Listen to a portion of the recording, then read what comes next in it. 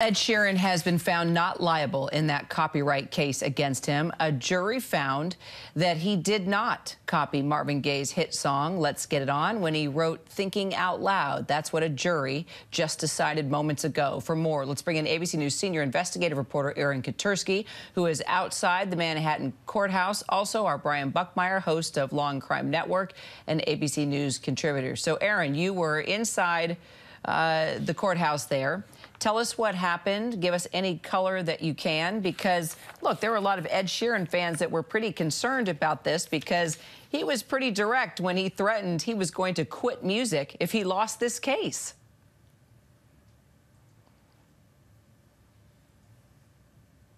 I do not hear Aaron. In his songwriting abilities, if he was found liable in this case, but he was not. The seven-member jury here at Manhattan Federal Court said Ed Sheeran did not copy Marvin Gaye's Let's Get It On when he wrote Thinking Out Loud.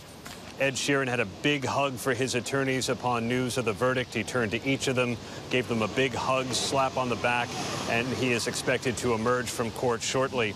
Uh, Sheeran's trial lasted uh, eight days, but jury deliberations lasted just a few hours before deciding that Sheeran was not liable for copyright infringement, as the family of Ed Townsend, Marvin Gaye's co-writer on Let's Get It On, had alleged, and their attorney, Ben Crump, had pleaded with the jury to please give credit where credit is due beyond the copying of chord progressions or sheet music, this case to the family of Ed Townsend uh, had a, a, a, racial and cultural aspect to it because they feel like uh, white musicians have misappropriated black music for generations, and here they thought they had an opportunity to right that wrong. But the jury did not agree and found Ed Sheeran not liable.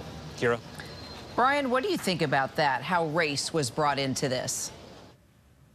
It makes sense to me uh, from a historical standpoint. I know many people would argue that the music that made Elvis Presley was largely on the backs of those who are of color who made similar music and didn't get the the accolades. But I think that race didn't have much influence in this case. This was about chord progression. This was about music.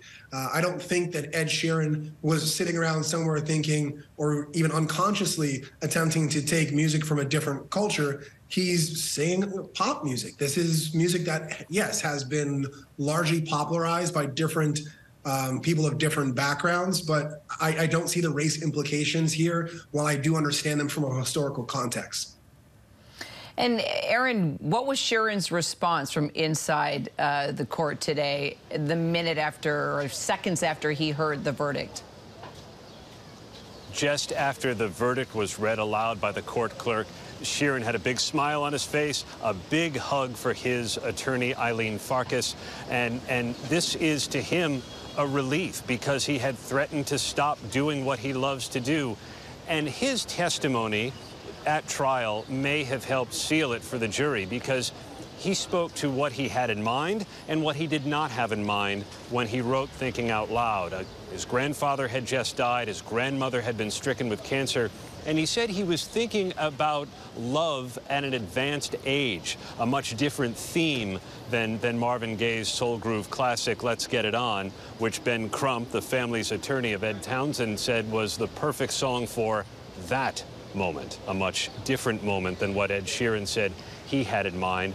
And Ed Sheeran gave a micro concert for the jury. He had a guitar, he sang, and he tried to say that Thinking Out Loud and Let's Get It On are, are both based on a four-chord progression that's common in popular music. In fact, his attorneys played this rather humorous mashup video they got off YouTube of some British comedians playing like a hundred songs in a row seamlessly that use the same four-chord progression. Ed Sheeran's attorneys argued nobody can own that chord progression or else nobody would be allowed to write music. Hi everyone, George Stephanopoulos here. Thanks for checking out the ABC News YouTube channel. If you'd like to get more videos, show highlights, and watch live event coverage, click on the right over here to subscribe to our channel and don't forget to download the ABC News app for breaking news alerts. Thanks for watching.